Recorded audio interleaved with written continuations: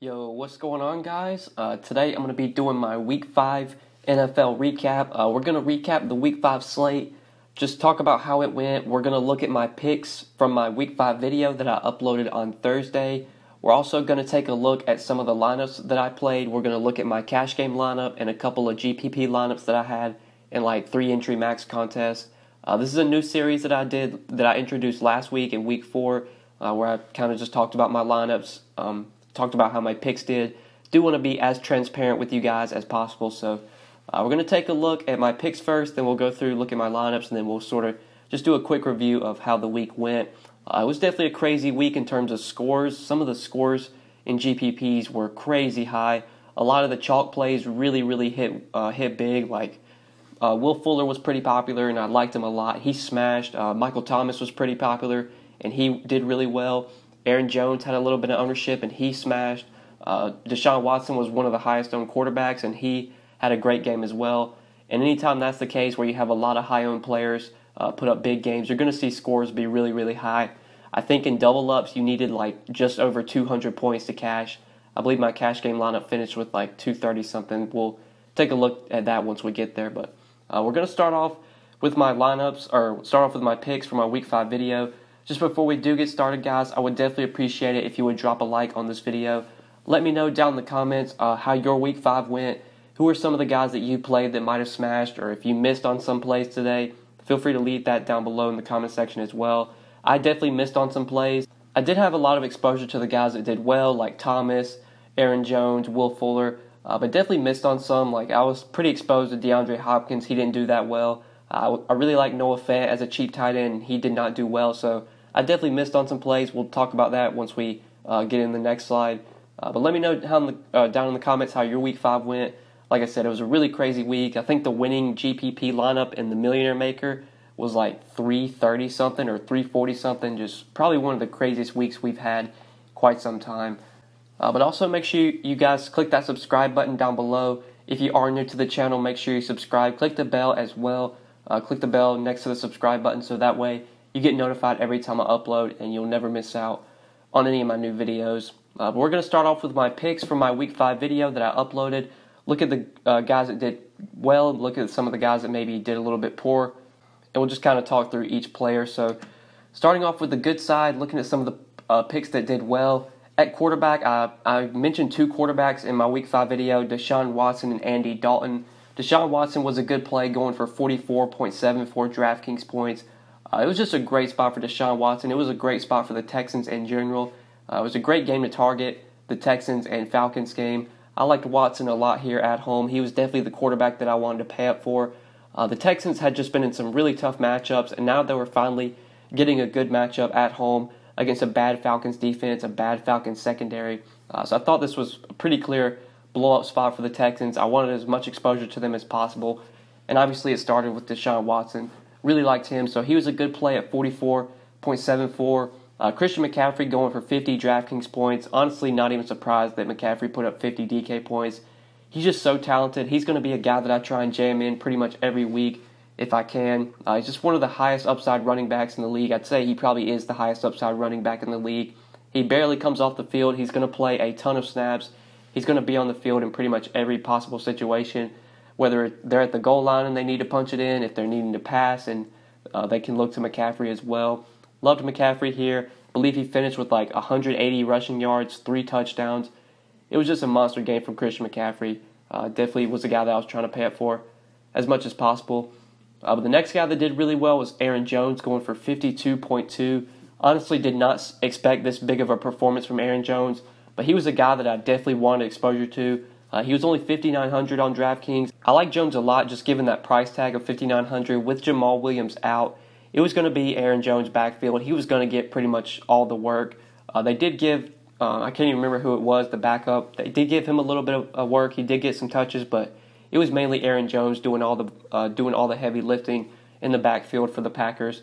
Can't remember how many uh, actual touches he finished with, but I know he had four rushing touchdowns uh, it was just a monster game, 52.2 DraftKings points. Aaron Jones was one of the highest scoring players on the slate, if not the high scoring, just right behind Will Fuller.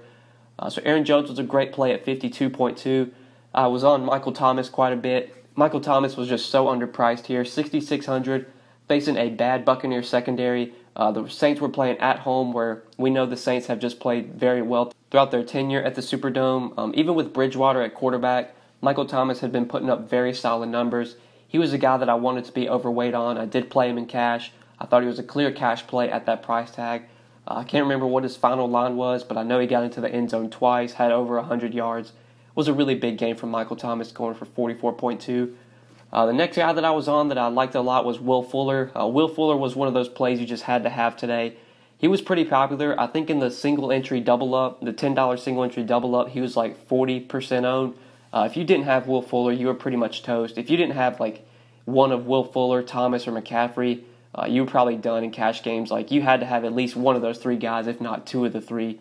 Luckily, I had all three in my cash game lineup, so that was what helped me win today. But uh, Will Fuller was a stud play here. I just really liked the spot. He was so cheap at 4,500. I was very high on all the Texans receivers. I was high on the Texans offense in general. Uh, Fuller had have had had a lot of tough matchups. He finally was getting a good matchup against a bad Falcons defense, a bad Falcons secondary. Fuller was still seeing the targets every week, even though he wasn't producing, even though the, the game log wasn't very pretty. He was still getting seven, eight targets a game. Anytime you get a receiver for that cheap, getting seven, eight targets a game, especially a receiver like Will Fuller that has a lot of upside, a lot of big play potential, I think that's something you always want to look for. Even in cash, you always want to try and find guys that at least have a little bit of upside. Did not expect Will Fuller to go for 56 DraftKings points. I think he finished with like almost 200 yards, three touchdowns. It was a monster game from Will Fuller. Honestly, think he had over 200 yards. And I know he got tackled twice at the one yard line, so he honestly could have had five touchdowns. Uh, one of the best performances we've seen in a long time from a receiver, and luckily I was on him. So uh, Will Fuller was a play that worked out very well.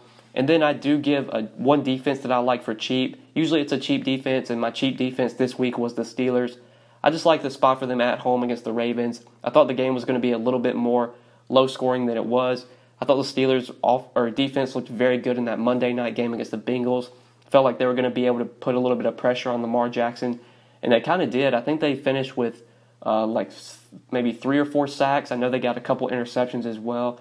Uh, so the Steelers D was a solid pick at only 2,100, getting 11 DraftKings points from a cheap defense for only 2,100. Uh, it's a very good play. So those were all the picks that did re- uh, really well. My good picks were like smash picks. I didn't really have any picks, just do like okay. But now we will get over to the bad side. I do want to talk about both sides. Don't just want to talk about the good plays. Uh, so I did put stars beside Andy Dalton and Auden Tate. Andy Dalton was a play that I liked a lot. He finished with 18.98. Auden Tate was a value receiver that I thought was a pretty clear uh, value receiver. He finished with 11.6. Uh, Dalton and Tate necessarily weren't bad plays. I did put this down here at the bottom. Uh, Dalton and Tate weren't necessarily bad plays for their price tag. I think Dalton was 5,900. Getting almost 19 DraftKings points from a $5,900 quarterback is not that bad value, uh, not that bad of a play. And same can be said for Auden Tate. Auden Tate was 3,500. He finished with 11.6 DK points getting over 11 DK points from a cheap receiver under 4K is not a bad play either. But on this slate where scores were so high, you on you weren't going to be able to take anything down with Tate and Dalton in your lineup. So that's why I included them on the bad side. I guess I could have put them on the good side, but honestly felt like uh, on this slate, if you didn't have like these guys like Jones, Thomas, McCaffrey, Fuller, those pretty much if you didn't have them, you weren't really taking anything down. Like I had some lineups where I had all four of like McCaffrey, Jones, Thomas, and Fuller, but then I had like Dalton and Tate in those lineups, and that really just killed my chances of taking down anything big. But anyway, Dalton was a guy that I did like a lot here at home against the uh, against the Cardinals. Cardinals defense just been so bad this year. I thought it was a get right spot for Andy Dalton. Uh, he had been performing pretty well before that Monday night game against the Steelers. Going back home for only 5,700. I used him in cash. He was my cash game quarterback. Uh, it was looking really bad after the first half. I think he only had 25 yards in the first half. He literally had one drafting point in the first half, and then he came out strong in the second half and got 17 DK points just in the second half alone. Uh, threw for two touchdowns, over 200 yards, uh, so kind of salvaged the day. But uh, Andy Dalton, 18.98, not necessarily a bad play, but not really a great play either. Uh, David Johnson was definitely a disappointment for his price. 7,500, only giving you 18.6 DK points, definitely is not going to get the job done. Uh, Johnson was a guy that I liked a lot here against the Bengals. Uh, we did see Chase Edmonds run in a touchdown. Uh, Johnson I believe, did get injured late in the game. He did get like a back injury, and he did lose some snaps to Chase Edmonds. Uh, we saw Edmonds enter the game late, or enter into the game late uh, later in the game, and Edmonds did get a long rushing uh, rushing touchdown. So obviously, if Johnson doesn't get get hurt, that rushing t- touchdown could have went to him. But either way, Johnson didn't really come through. Honestly, thought he would have had a much better game. Wasn't necessarily a terrible play, but not really a great play either for 7,500, especially not on this slate. Uh, the next guy that I was really high on in that mid range was David Montgomery. Uh, he was a big disappointment, only going for 10.6 DK points. And the Raider or the Bears in general were just a big disappointment here. They got beat by the Raiders. I was not expecting that. I was expecting the Bears to have a lead for a lot of the game. I thought Montgomery was going to get a ton of work, and the Bears got down early. Like I think they were losing like 14 nothing or 17 nothing. Montgomery luckily got like a two yard touchdown, which kind of salvaged his day. If he doesn't get that two yard touchdown, he's going to be a terrible play. But really wasn't a good play either. Only 10.6 DK points for 5,200. Uh, that was definitely a play that I missed on. I, I expected Montgomery to ha- just have a much better game. I thought he was going to see a ton of work. Thought the game script was going to favor him. I liked the matchup against the Raiders. I uh, just didn't go as planned. Uh, the next guy, DeAndre Hopkins, this was a big disappointment. Uh, DeAndre Hopkins, I thought was going to have like the Will Fuller game, like the 10 catch, 150 yards, two touchdowns. Like I thought that was going to be the kind of game we were going to get from DeAndre Hopkins. He only finished with 15.8 DK points, I believe he did fall a little bit short of the 100 yard bonus. So if he gets the 100 yard bonus, uh, you're obviously looking at a little bit of a better situation for Hopkins. But still, anytime one receiver uh, just gets as much uh, volume as Fuller was getting, I think Fuller got 16 targets, three touchdowns. Anytime that's the case, uh, a guy like Hopkins just isn't going to produce well. So honestly, I'd play DeAndre Hopkins again in this spot the matchup was so good. I thought it was an eruption spot for him. Uh, it was just kind of that Will Fuller was the guy that had the eruption, not Hopkins. Uh, but either way, looking on to the next guy it was Auden Tate. I thought this was a clear value play going into the week with John Ross out. Auden Tate was already playing a ton of snaps. You only thought, or you would only think the snap share would increase with John Ross out. He was seeing a lot of targets as well. It was a great matchup against a bad, a bad Cardinals defense. A Cardinals defense that's still uh, missing Patrick Peterson, who is their best corner. Really liked Auden Tate. He did kind of salvage his day late, pretty much just like Andy Dalton did. Late in the game, I believe it was late in the third or fourth quarter, uh, Tate got a really short touchdown, like a two or three yard touchdown, uh, which kind of salvaged his day. But 11.6 from a $3,500 receiver. I wouldn't necessarily say that was a bad play, but on this slate where you needed over 300 points to take down any tournament, uh, 11.6, it really isn't going to get the job done. Uh, then lastly, Noah Fant. This was a big, big disappointment. I did uh, played quite a bit of Noah Fant. He was in my cash game lineup and he was in one of my three main GPP lineups. He only finished with one catch for six yards. Uh, just didn't get the volume. Very surprised at the uh, Broncos came out firing in this game. The Broncos had a 17 nothing lead, I believe, to start the game, or 14 nothing lead. So they didn't really throw the ball much. They didn't really have to, and Fant just didn't. Or when Flacco's not throwing the ball a ton, Fant's not going to get the volume. I was expecting the Chargers to come out in this game and get a big lead to start off with, which was going to make uh, the Broncos or force the Broncos to throw. And I thought Fant, uh, just a young athletic tight end, was going to get a few targets, was going to be on the field plenty. That just wasn't the case. I knew Tyler Eifert was going to be a tight end that a lot of people look to, and I just didn't feel that good about that play. Eifert just hasn't been playing a ton of snaps, whereas a guy like Noah Fant, seeing his snap share increase, he's a young athletic tight end. Uh, I thought the volume would be there, and that just wasn't the case. Tight end was a position I didn't really see any standout plays, so I was just trying to punt so that way I could get up to the studs that I wanted at the running back position, like McCaffrey, like Zeke, uh, like David Johnson. But Noah Fant definitely a play that I whiffed on quite a bit this week. Uh, but that's it for my picks for my Week 5 video. Now we'll take a look at my lineups real quickly uh, before we end the video. So these were my main four lineups that I played, my cash game lineup and then my three GPP lineups.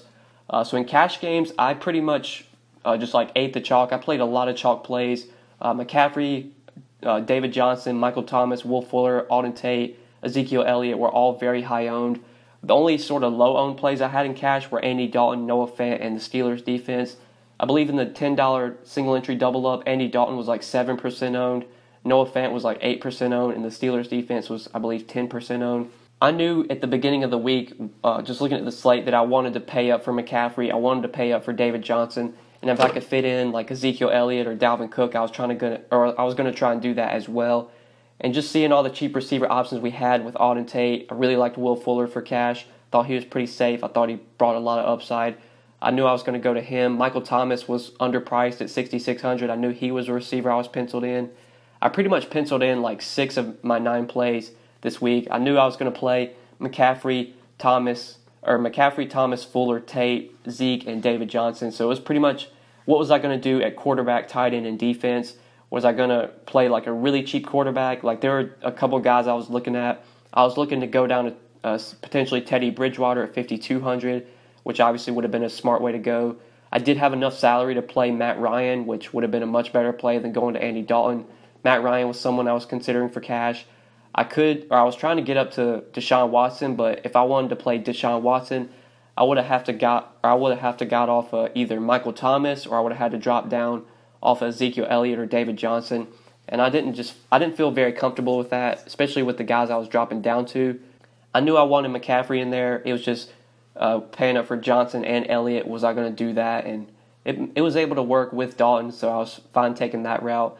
Obviously, the best route to go would have probably been to jam in Deshaun Watson and then either downgrade one of Johnson or Elliott. I could have downgraded from like Johnson to Aaron Jones, and then I could have upgraded a tight end, which would have been pretty much the stone nuts, which I was kind of looking at that. But uh, either way, it was a solid week in cash games. I finished with 230.48 in my cash game lineup. My three GPP lineups, uh, one of them was pretty solid. My second lineup, a 217. Uh, my third lineup, I believe, was able to bubble a couple tournaments. I was able to make like half my money back in that one with a 196, and then my other lineup didn't do very well with just a 176. Crazy to say 176 is an, is not a good score, but on this slate, you pretty much need over 200 to even min cash. So 176 not going to get the job done. But we'll look at these three GPP lineups real quick. Uh, my first one I had a Deshaun Watson to DeAndre Hopkins stack, and then I ran it back with Julio Jones. Had David Johnson correlated with Auden Tate. David Montgomery talked about him in my picks video. I really like David Montgomery. Had Noah Fant in this lineup. Um, had Aaron Jones in this lineup, and then had the Panthers D who I did like as a cheap defense. Uh, in my second lineup, I went with a Matt Ryan to Julio Jones stack, and then I ran it back with Will Fuller. Uh, then I have Christian McCaffrey, David Montgomery, Auden Tate, Darren Waller, Austin Ekeler, and the Chargers D. Uh, Austin Ekeler was someone that I wanted to have exposure to in GPPs. I didn't feel like Melvin Gordon was going to get all the work. Uh, we got a lot of reports throughout the week that Austin Ekeler, uh, Austin Ekeler was still going to be heavily involved, even with Melvin Gordon active and that was the case. I believe Ekeler got like 10 catches for 80 yards. I believe he did get into the end zone, if I'm not mistaken. He had a pretty solid game in general. He was still heavily involved, and his price tag dropped a lot. He was down to 6,700 on DraftKings. I knew I wanted him in at least one of my three main GPP lineups. Uh, but now we'll look at the third GPP lineup real quick before we end the video. So this one I went with Andy Dalton to Tyler Boyd. Uh, this was a lineup where I faded Auden Tate. I didn't want Auden Tate in all my four main lineups, so I took him out of, or I didn't play him in the last one. This one I went with a Dalton to Boyd stack, and then I ran it back with David Johnson and Larry Fitzgerald. Had Dalvin Cook in this lineup, who I did want some exposure to. I wasn't going to be, or I wasn't going to be heavily exposed to him, but I knew I wanted him in at least one of my four GPP lineups because Dalvin Cook's just that good of a running back. Uh, but then I had Will Fuller in this lineup, which obviously went really well. Had Greg Olsen, who was a big disappointment. Uh, like I said at the beginning of the video, tight end was a position I didn't feel like there was any standout plays.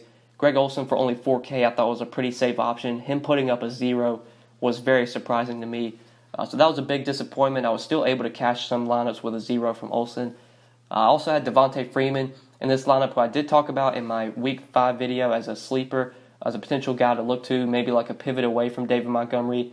I knew Freeman wasn't gonna or wasn't gonna be very highly owned I like the matchup as well against the Texans. Uh, the Texans are another team, like the Falcons, that have given up a lot of receptions to running backs this year.